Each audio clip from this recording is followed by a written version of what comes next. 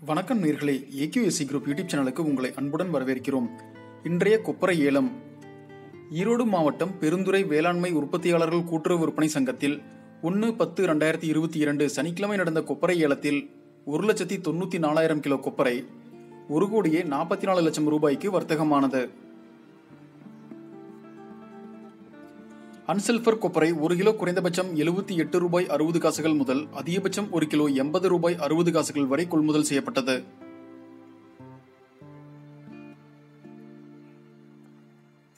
முதல் தர கொப்பரை ஒரு கிலோ குறைந்தபட்சம் எழுபத்தி மூணு ரூபாய் எண்பத்தி ஐந்து காசுகள் முதல் அதிகபட்சம் ஒரு கிலோ எழுபத்தி ஒன்பது ரூபாய் எண்பத்தைந்து காசுகள் வரை கொள்முதல் செய்யப்பட்டது.